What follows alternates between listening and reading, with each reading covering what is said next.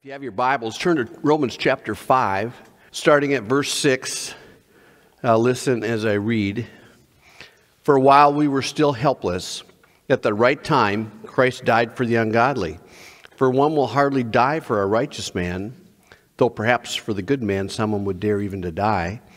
But God demonstrates his own love toward us in that while we were yet sinners, Christ died for us. Much more then, Having now been justified by his blood, we shall be saved from the wrath of God through him. For if while we were sinners, well, if, for if while we were enemies, we were reconciled to God through the death of his Son, much more, having been reconciled, we shall be saved by his life. And not only this, but we also exalt in God through our Lord Jesus Christ, through whom we have now received the reconciliation. Well, these verses, they show us the hopeless condition that we were in before God saved us and they also demonstrate what a tremendous love that God has for us. And there's three phrases that really stand out in these verses. The first one, number one, while we were still helpless. The second one, while we were yet sinners. And the third one, while we were enemies. And God demonstrated his love for us while we were helpless, while we were yet sinners, and even while we were enemies. That's what the Bible teaches. And he did it at great cost. He sent his son, Jesus Christ, to die for our sins that we might be saved. And so tonight, let's, let's look at each of these three phrases and, and see how they show us the, the tremendous love that God has for his people. So the first phrase is, while we were still helpless. Romans 5 6 says, For while we were still helpless, at the right time, Christ died for the ungodly. While we were still helpless. That's when Christ died for us. The Bible teaches us that we are helpless as far as our salvation is concerned. We can't do anything on our own to procure our salvation. We've all sinned and we've all fall short of God's glorious standards. In Romans 3:23 it says for all have sinned and fall short of the glory of God. And the Bible teaches us that the just consequence of our sin is, is death. Romans 6:23 says for the wages of sin is death. And when a sinner dies in their sins, they're lost. Matthew 10:28 says do not fear those who kill the body, but are unable to kill the soul, but rather fear him who is able to destroy both soul and body in hell. And so the consequences of sin are death and hell. The consequences of sin are very fearful, but how can we avoid these consequences? Because we're born as sinners. Psalm 51 5 says, Behold, I was brought forth in iniquity, and in sin my mother conceived me. And so we were born in sin. We naturally sin. We're naturally bent on destruction. Our default setting is to run away from God and towards sin and death and hell. That's the state of man without Christ. And we're helpless on our own to do anything about it. We are helpless on our own when it comes to changing the situation. We, we can't even on our own come to Christ. John 6 44 says, No one can come to me unless the Father who sent me draws him, and I will raise him up on the last day. But Romans 5 6 says, For while we were still helpless, at the right time, Christ died for the ungodly. So Christ died for us while we were in this helpless state. Without Christ, we have no strength or ability to change our natural bent towards sin. Without Christ, we have no ability to move towards God. Without Christ, we're lost and without hope, and we're helpless to do anything about it. Let, let me show you just how helpless the Bible says man really is in the matter of salvation. in Ephesians chapter 2, verse 1, it says, And you were dead in your trespasses and sins, in which you formerly walked, according to the course of this world, according to the prince of the power of the air, of the spirit that's now working in the sons of disobedience. Among them, we too all formerly lived in the lusts of our flesh, indulging the desires of the flesh and of the mind, and were by nature children of wrath, even as the rest. But God, being rich in mercy because of his great love with which he loved us, even when we were dead in our transgressions, made us alive together with Christ. By grace you've been saved. And so the Bible teaches us that we were dead in our trespasses and sins, not, not wounded, not sick, not hurt, but dead. Absolutely dead. You and I were dead, spiritually dead, in our trespasses, in our sins. We were enslaved to sin. We, we followed the course of this world according to the power of Satan. And the Bible says we were helpless to do anything about it. After all, how can a dead person help himself? He, he can't. A physically dead person is unable to do anything for himself. He doesn't move, he doesn't breathe, he doesn't think. He is absolutely dead, unable to do anything to help himself at all. Spiritually dead person's the same way. He's unable to do anything for himself in the matter of salvation. absolutely helpless. But Romans 5 6 says, For a while we were still helpless, at the right time, Christ died for the ungodly. And so consider this while, while we were helpless, while we were lost and without hope, while we were enslaved to sin, while we were bent on a course to hell, while we were dead in our sins and utterly unable to do anything about it, the Bible says Christ died for us. And so, Christian, you are a Christian now because Christ died for you when you were helpless. When you were helpless. God took pity on you when you couldn't do anything to help yourself. He saw you headed to hell. He saw the misery that you were in and the helpless state you were in, and He took compassion on you. God sent his son Jesus to die for your sins and that, that you could be saved. And he did it when you were helpless. He did it when I was helpless. And we were dead in our sins, dead in our trespasses.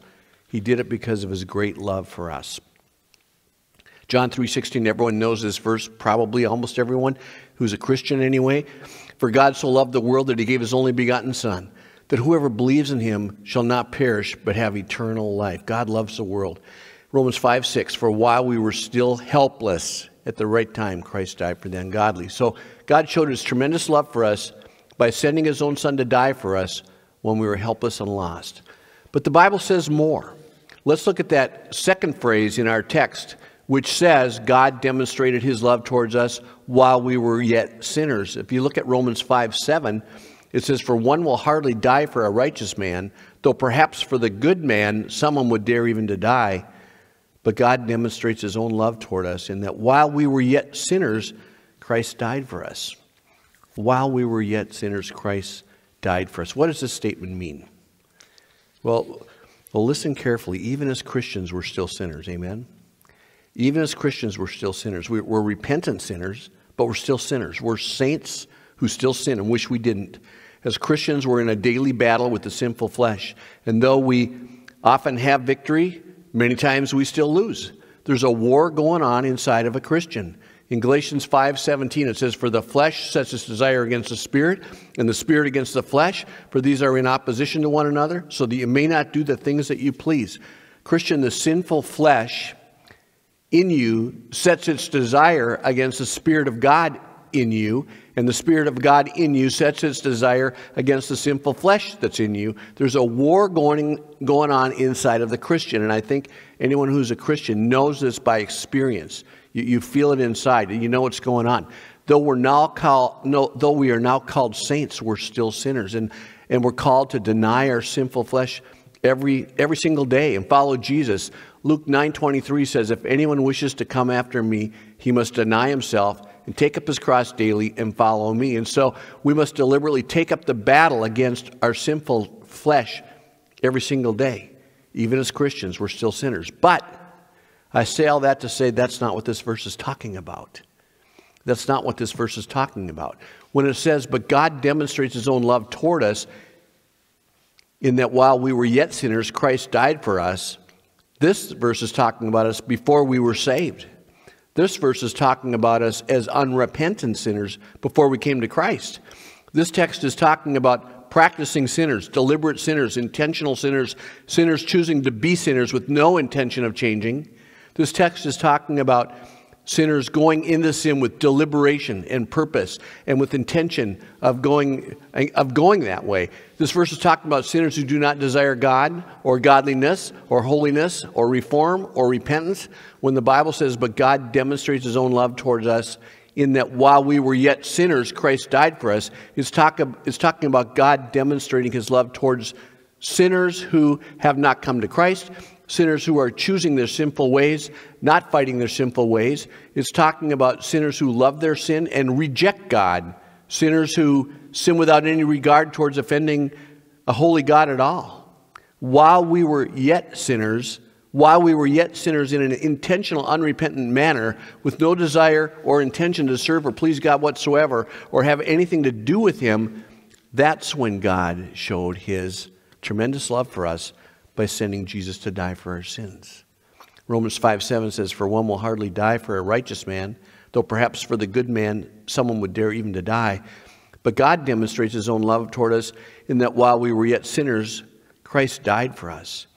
It's hard to even imagine a person dying for a righteous man, though the Bible says, For a good man, someone might dare to die, but God demonstrated his love toward us. Christ died for us, not when we were good, not when we were righteous, but when we were yet unrepentant sinners, deliberate and intentional sinners wicked and evil sinners who engaged in our sin with purpose and determination, sinners who didn't care about offending God, sinners who delighted in their sin, couldn't get enough of their sin, went back for more, and sinners who could care less about what God thought of it. Christian, that's the kind of sinners that we were before God saved us. We were very offensive to God. Romans 129 through 32 describes the kind of sinners that we were when Christ died for us. Romans 129 says, being filled with all unrighteousness, wickedness, greed, evil, full of envy, murder, strife, deceit, malice. They are gossips, slanderers, haters of God, insolent, arrogant, boastful, inventors of evil, disobedient to parents, without understanding, untrustworthy, unloving, unmerciful.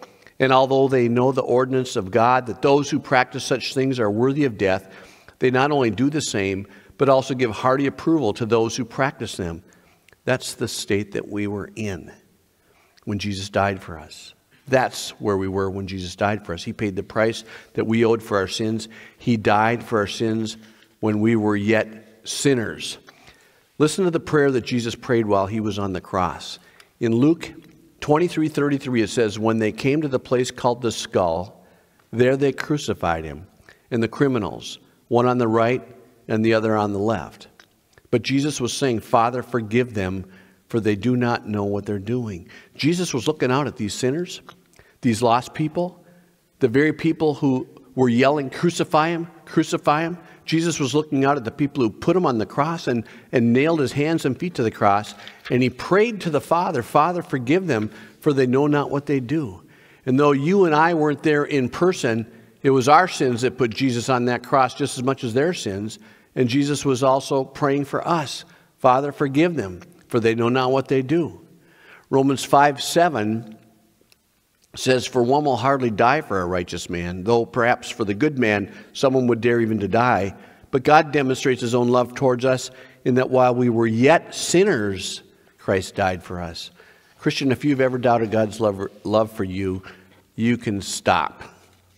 Jesus died for you while you were yet a sinner, while you were yet an unrepentant sinner. Jesus died for you when you had your back turned against him. He died for you when you were following the course of this world, when you were practicing deliberate, intentional, unrepentant, wicked sin, when you were someone who had no regard for him whatsoever. That's when God showed his love to you and to me by sending Jesus to die for us. Romans 5 9. Much more than having Romans 5 9 says, Much more than having now been justified by his blood, we shall be saved from the wrath of God through him. Uh, that next verse, Romans 5 9. This verse is saying that if God loved us while we were yet sinners, if God sent his son to die for us while we were yet sinners, how much more shall we be saved from the wrath of God to come now that we are his children, now that we are justified through the blood of Christ? Let me read that again Romans 5 9 much more than much more than having now been justified by his blood we shall be saved from the wrath of god through him. We were unrepentant sinners. Christ died for us in that state. Now we're justified saints. If god loved us so much when we were unrepentant sinners how much more now? How much more now? When we how much more shall he surely save us from the wrath to come now that we're his beloved children christian think about it when we were yet sinners, God loved us so much that He sent His Son to the cross to die for us. Now we're saved. Now we belong to Him. Now we're justified. Now we stand before Him in the righteousness of Christ. How much more then shall we be saved from the wrath to come? Think about that. Isn't the love of God amazing? He died for us while we were yet sinners. Now we're His children. How much more will we be saved? 1 Thessalonians 5 9 says, For God has not destined us for wrath, but for obtaining salvation through our Lord Jesus Christ. Now, there's one more phrase in this text that we need to look at. The third phrase we need to look at is this while we were enemies. While we were enemies. The Bible goes so far as to say that God demonstrated his love towards us while we were enemies. He showed us his love while we were helpless. He showed us his love while we were yet unrepentant sinners. But God didn't stop there. He even showed us his love by sending his one and only begotten Son, Jesus Christ, to die for our enemies. Romans 5:10 says it this way, for if while we were enemies we were reconciled to God through the death of his son, much more having been reconciled we shall be saved by his life. While we were enemies God sent Jesus Christ to die for our sins. Now this raises a question. When the Bible says while we were enemies, does it mean that we saw God as our enemy? Or does it mean that God saw us as his enemy? Which way is it? You ever thought about that? Either way, it sounds bad. The, the, the truth is, the Bible would support either interpretation. When we were not saved, when we were unrepentant sinners in rebellion against God, God, God clearly saw us as rebels. He saw us as his enemies. We were defiant against his holy commands, willful sinners in the face of God's holiness. We had made ourselves into his enemies, and we were in a very real danger of suffering the terrible wrath he reserves for his enemies. Romans 2 5 says, But no, you won't listen. So you are storing up terrible punishment for yourself because of your stubbornness in refusing to turn from your sin. For there's going to come a day of judgment when God, the just judge of all the world, will judge all people according to what they've done. So God sees repentant sinners who refuse to turn to Christ, he does see them as his enemies. That's what the Bible says. In Hebrews 1:13 it says, God, God says to his son, Jesus Christ, Sit in honor at my right hand until I humble your enemies, making them a footstool under your feet. So our verse can refer to God seeing unrepentant sinners as his enemies, but it can also mean that unrepentant sinners see God as their enemy. In Philippians 3:18, it says, "For I have told you often before, and I say it again with tears in my eyes, that there's many whose conduct shows that they are really enemies of the cross of Christ." And so people can show by their conduct that they see God as an enemy. In Romans 8 7, it says, For the mind that's set on the flesh is hostile to God. It does not submit to God's law. Indeed, it cannot. The Bible says when a person's mind is set on the flesh, that is the mindset of an unsaved person, he is naturally hostile towards God. And so the unsaved person looks at God as his enemy. What a terrible situation to be so rebellious against God.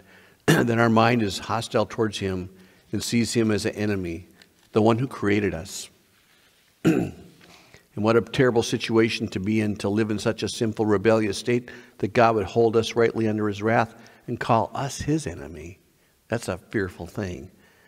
but God did something even in this terrible situation. Romans 5:10 says for if while we were enemies we were reconciled to God through the death of his son much more, having been reconciled, we shall be saved by his life. God saw us as enemies. We were his enemy. He was our enemy. God chose to love us in this terrible state, a state where he could have just as rightly thrust us into hell. He loved us in this alienated, hostile state and sent his son, Jesus Christ, to this world to die on the cross for our wickedness and for our sins, that we might be reconciled, that we could be saved. And that is a love beyond amazing. It's a I, I can't really describe that love, just to, other than to say God's love is beyond amazing. And so, Christian, don't ever doubt in the love that God has for you. He sent his son to die for you while you were his enemy. Again, for if while we were enemies, we were reconciled to God through the death of his son, much more having been reconciled, we shall be saved by his life. Now look at that last phrase. It says, much more having been reconciled, we shall be saved by his life. What does that phrase even mean? Much more, having been reconciled, we shall be saved by his life. Well, Jesus is alive in heaven right now. And he's interceding on our behalf before the Father as our great high priest. Jesus loves us and he intercedes for us in prayer. That's what the Bible teaches to our Father who loves us. If God loved us so much that he sent his Son to die for our sins when we were his enemies, how much more now when we are reconciled to God, when we are friends of God, when we are the children of God, how much more now shall we be saved when Christ Himself, who died for us, now lives before the throne of God at the right hand of God, interceding for us as our Lord and Savior? Think about that. Christ Himself is interceding for you. We, we shall be saved not only by His death, but by His life, His resurrected life in heaven as our great high priest. So let me, let me conclude. Listen to this last verse Romans 5:11 in the New Living Translation. So now we can rejoice in our wonderful new relationship with God, all because of what our Lord Jesus Christ has done for us in making us friends of God. Christian, the love of God is something we ought to really rejoice in. God loved us when we were helpless. He loved us when we were sinners, and He even loved us when we were His enemies. He demonstrated this love so clearly and so tangibly. He showed us His great love by sending His Son, Jesus Christ, to die on the cross for our sins and make us right with Himself. I'm going to, I'm going to stop right there, but I, I, I want to. Uh, I want to read to you a benediction. And so here's the benediction from Ephesians 3:16. I, I, I pray that from his glorious unlimited resources, he will give you mighty inner strength through his Holy Spirit. And I pray that Christ will be more and more at home in your hearts as you trust in him. May your roots go down deep into the soil of God's marvelous love. And may you have the power to understand, as all God's people should, how wide, how long, how high, and how deep his, really, his love really is. And may you experience the love of Christ, though it is so great you'll never fully understand it. Then you'll be filled with the fullness of life and power that comes from God. Now, glory be to God by his mighty power at work within us. He's able to accomplish infinitely more than we would ever dare to ask or hope. May he be given glory in the church and in Christ Jesus forever and ever through endless ages. Amen.